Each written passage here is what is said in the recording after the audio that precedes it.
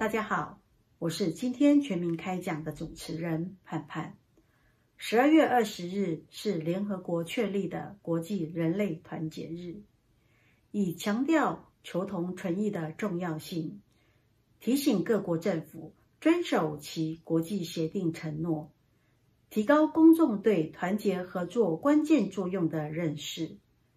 现今，社会正是因为包容性的团结合作。重视人权的重要性，国际社会在减少贫困、推进民主自由等领域，才取得了大踏步的进步，并促进整体社会欣欣向荣。联合国大会在二零零五年阐明，团结是二十一世纪各国人民基本而普遍的价值之一。并宣布每年十二月二十日为国际人类团结日。各国政府在社会发展问题世界首脑会议上承诺消除贫穷，并将此视为人类必须履行的道德、社会、政治和经济责任。无论是政府、政府间及非政府组织。民间社会和私营部门都应结为伙伴，开展合作，为促进人类团结而齐心协力，为所有人建设一个更美好、更安全的世界。我们来聆听联合国 NGO 世界公民总会副主席洪道子博士的致辞。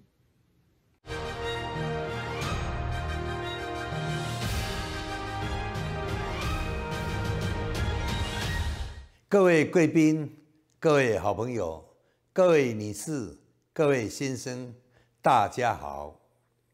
今天是国际人类团结日。两千零五年，联合国大会确定每年的十二月二十日为国际人类团结日。这是一个庆祝人类在多样性中团结的日子，是提醒。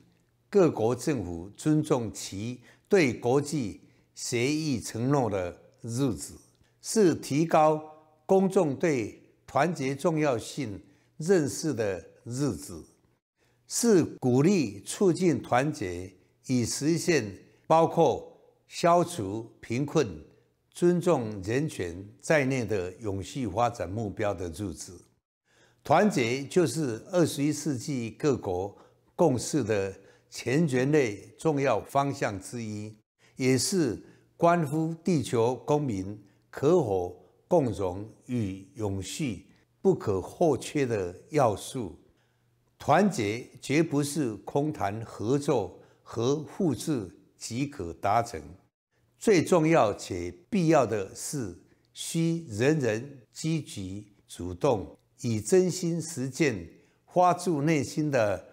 包容与尊重，主动伸出双手助人，主动勇敢发出不平之鸣，主动愿意身先士卒，行动表率。联合国前任国际团结问题独立专家卢迪·穆罕默德在其二零一零年报告中指出，国际团结是人类。尊严的先决条件是所有人权的基础，是以人为本的发展方法，并具有跨越所有分歧和差别的桥梁功能。国际团结的总体目标是创造有利环境，以维护国际秩序，确保国际社会的生存。现今世界面临的种种考验，更是需要世界公民不分你我的团结力量来解决。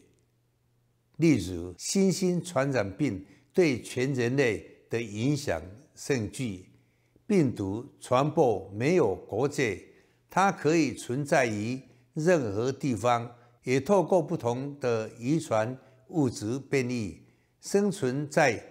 地球的环境中，没有人可以免于受到影响，病毒不只限于引发疾病的病毒，还有各种人为的祸患、社会制度的窠臼、经济上的巧取豪夺等等，主要是伤害到普世人权、影响人类生存自由的，皆可视为是危害全体人类的病毒，其影响力绝不亚于。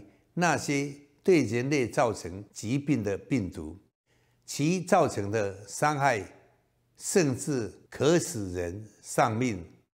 团结是后疫情世界的出路，是治愈我们人际和社会疾病的路径。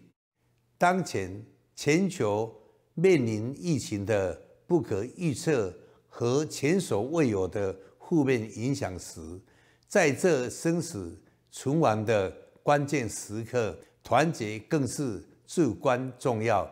人民、国家、政府和组织必须团结起来，为人类共同的未来和生存而奋斗。现代人事管理之父罗伯特·欧文曾说：“团结就有力量和智慧，没有诚意实行平等。”或平等不充分，就不可能有持久而真诚的团结。团结的前提在于每个人能够看见他人，更进一步看见他人与全局之需，小我而造就大局，创造共荣共好。它包含了社会正义和公平的价值观。这是保护人权的根本。我们生活在一个多姿多彩的世界，有不同的种族、文化、语言和习俗。只有爱和良心，才能将我们的多样性转化为团结与合作。爱引导我们关注他人的利益，愿意接受和尊重彼此的差异。己所不欲，勿施于人。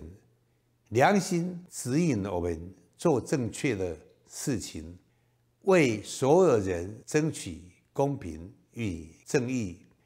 大环境的气场因人类内心的五毒——贪、嗔、痴、慢、疑而败坏。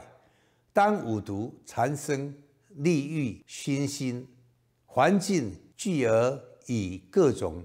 形式反扑到人类身上，无论我们愿不愿意，这已是生命共同体必须承担的现实。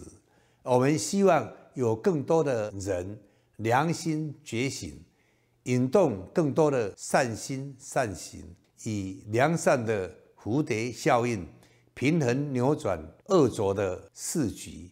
尤其为恶多端者，若能。早日觉醒赎罪，弥补过失，还是有机会拯救自己的灵魂，让灵魂得以纯净，也让善良的能量广布世界。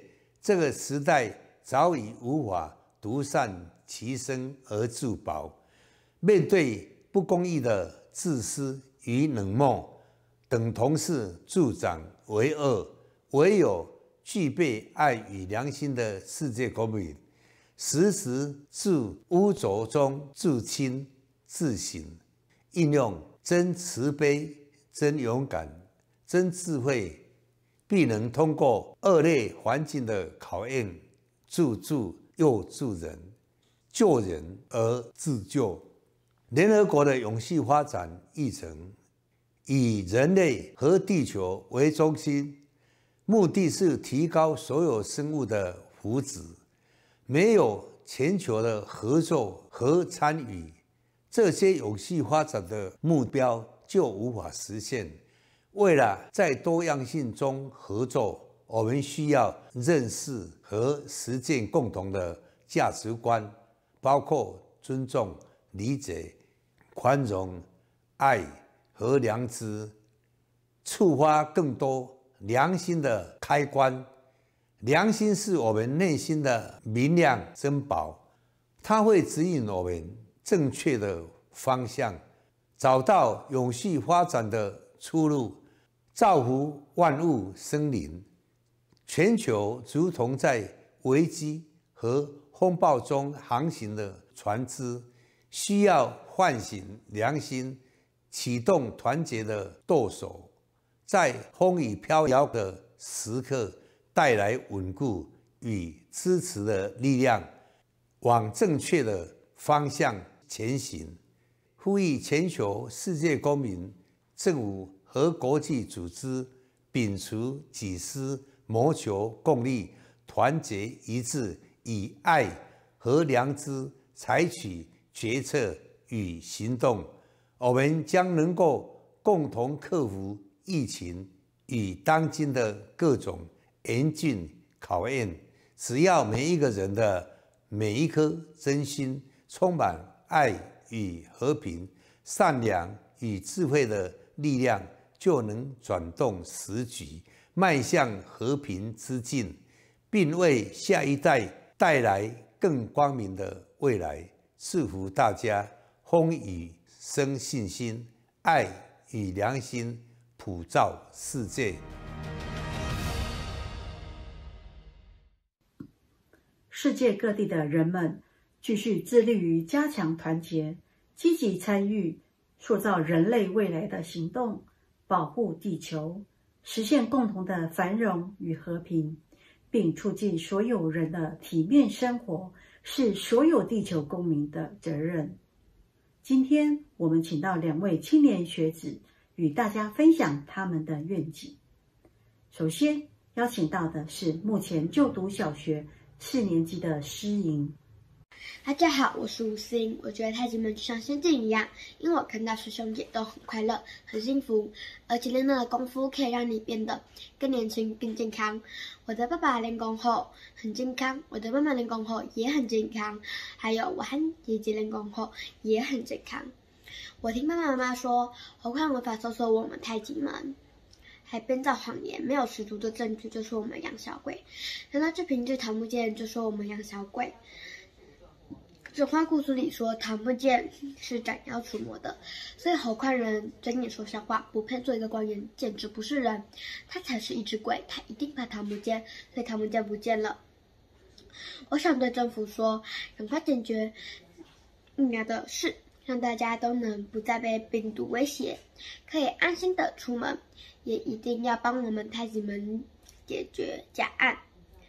让我们安心练功。呃，爸爸妈妈说我们有依法缴税，如果台湾还有这么多的缴税单，那一定不是政府有问题。希望政府官员要有良心，不要再乱开税单，人民才可以安心的生活。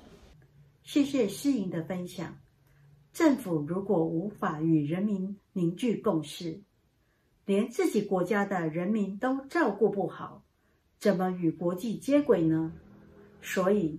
政府官员要有良心，重视人权，并正视人民的声音，确实落实法税改革，转型正义。接着，我们邀请到第二位分享人 Gary。人一出生就应该拥有人权和良心，身为人就必须要超越族群、信仰、物种、国别。这样才能够聚集世界各地人们的意识，共同团结与凝聚向心力，才能挽救日益恶化的地球环境，迈向有序发展。而人际人权宣言以人生而自由与人生而平等为理念，主诉人人有权享有生命、自由和人身安全，人人有权享有言论。表达意见、思想和良心的自由，以及不受酷刑的权利，其中包括生命、自由、财产、尊严、获助、公正六种权利。同时，世界人权宣言也呼吁全球社会，强调所有人的人权都必须受到保护。每一天，人权都与我们息息相关。我们共同的人性根植于这些普世价值：平等、正义和自由，能够预防暴力发生并维护和平。我们必须随时维护人权价值，以避免发生更严重的危机。在台湾的司法史上，就曾发生了一场乌龙冤案。侯宽仁检察官违法滥权羁押太极门掌门人洪道子博士及夫人尤美容女士及数位太极门弟子长达数月。最终，太极门刑事案件于一九九六年七月十三日。最高法院三审判决确定是无罪，技师理事赠与属免税所得。然而，国税局依据错误的起诉书，继续开出违法税单，甚至去年还违法拍卖太极门的修行圣地，令人愤慨。要如何去抚平受害者的伤痛呢？当自己的人权受到迫害与侵犯时，若您自己本身不是当事者，又如何能有深刻的体悟和感触呢？国家的司法应该是维护公平、正义与人权的，并不是知法玩法，利用违法的税单去伤害及陷害百姓。在十二月二十日是国际人类团结日，同时也提醒各国政府必须遵守国际间经贸。卫生、环保、人权、和平的协定承诺。国际人类团结日就是得意同致力于促进和平、人权、人道以及社会和经济发展。红十字会也呼吁各界应该要尊重国际人道与人权法，保护每一位人民受到应有的基本人权。台湾是有民主、有爱心的地方。自己身为台湾的青年，也是太极门弟子。我真心希望我们这个宝岛台湾更好、更棒。台湾的经济不断的进步发展，却让世界看见台湾在税务人权有如此黑暗的一面。台湾是民主国家，更应该在人权部分做最好的示范。那为何没有促进税法的转型正义，协助太极门税务假案获得平反呢？我真心期盼那些违法乱纪的检察官、恐龙法官及无良税官能够良心觉醒，承认自己的错误，平反太极门假案，并还给清白。也期盼政府能立即归还太极门的修行圣地，让台湾成为一个真正民主灯塔。和人权法治的国家。谢谢 Gary 的分享。太极门假案已延宕二十五年，还没解决。太极门弟子的宗教信仰自由与人权被严重迫害，只好诉诸国际寻求救援。太极门税务冤案的申诉文件已送进联合国，且引起国际人士关注、认同与发声。我们一起来看这支影片。We asked you and those following us by Zoom or YouTube to be here today for a very important human rights case. It's now several years I have spoken in various fora, including uh, international human rights event and academic conferences about the Taijmen case. And I'm always afraid that uh, uh, some misunderstanding may happen because uh, I fully understand it will be a logical reaction to say that's a very complicated Taiwanese tax law. So let's take it to Taiwanese lawyers and they should uh, solve it. But that's a total misunderstanding. It is not, and it never was, a pure tax case. As we said, it's uh, on two accounts a human rights case.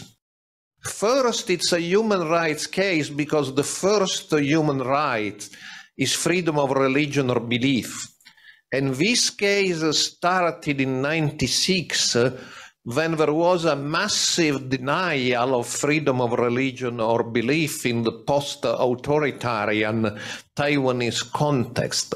Whatever happened in subsequent years derives from this fundamental violation of freedom of religion and belief and continues to be, to this very day, a violation of freedom of religion or belief. As Willy Fautré said, it is also a violation of human rights because it's a case of administrative corruption. As the United Nations have recognized, corruption is a violation of human rights. It prevents citizens from enjoying their human rights. And so it's a, a serious problem of corruption. Even uh, uh, the US State Department, in their yearly human rights report, they praise Taiwan in many accounts, and rightly so, but they say Taiwan has a problem of bureaucratic corruption it should solve. And the Taijimen case is a case where human rights of the Taijimen community were violated through corruption. Is it a tax case? Is it a human rights case? But it's not uh, an academic question, it's a very practical question. Because if it was a pure tax case, that's something to be solved by uh, Taiwanese lawyers. Why bother to come to Washington, D.C. and discuss this case? Well, the answer is precisely because it's not primarily, and certainly it's not exclusively a tax case, it's a case of human rights. It is an established, recognized principle that it is uh, the right and the duty of uh, the international community to protect human rights. And uh, it's needed that the international community takes an interest, as it is doing, and takes a stand in the violation of the Taijimen human rights in Taiwan. Let me conclude with a personal remarks. I'm Italian, and in Italy we have this uh, uh, expression of a dialogue of deaf people two deaf people try to talk to each other, but they cannot have a dialogue. So in this case, we have uh, on the one hand uh, the Taijimen Dizzy. Many uh, Taiwanese scholars from leading universities. They are not dizzy, but they have written uh, about this case. And growingly, dozens of international scholars and human rights activists uh, who have participated in conferences and seminars and webinars about the Taijimen case, and they all say, look, it's a question of freedom of religion or belief, and it's a question of human rights. And on the other hand, we have the Taiwanese authorities, which said, sorry, but for the year 92, the statute of limitation has expired, so there is nothing we can do. Uh, but this is false because uh, it's an internationally recognized principle that when gross violations of human rights are acknowledged, uh, the situation should always be rectified. And if there is no administrative remedy, there is always a political remedy. That we live in an historical moment when Taiwan needs a maximum of support from its international friends.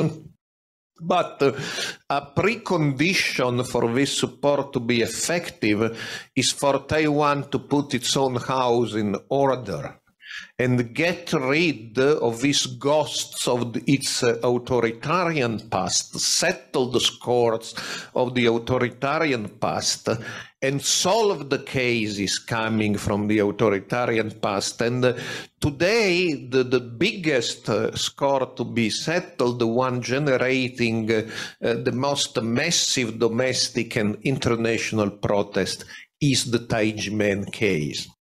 It is not because uh, we are against Taiwan, it's the contrary.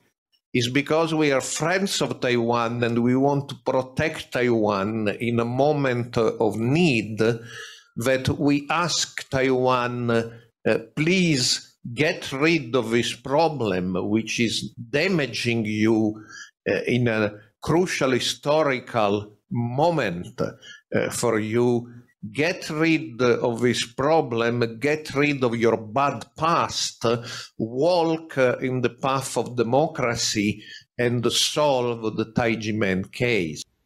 延宕二十五年的太极门人权迫害案件，除了凝聚国内专家学者共同推动台湾的法税改革之外，也得到许多国际人士的声援，共同关注在民主台湾残留的威权体制余毒。政府官员有能力、有有权利和义务，让太极门税务冤案早日落幕。让人民获得真正的平反、清白与正义，保障基本宗教信仰自由与人权，才能让国际人士看见台湾人权保障的提升，让台湾法治步上宪政民主的正轨。期望全民一起努力，上下团结一心，翻转未来，实现正义。我们用这首 MV 来展现全民与的决心、勇气与期盼。承受了二十四年的冤屈，依然屹立不摇，为的是什么？为的就是要让我们的台湾更好。台湾。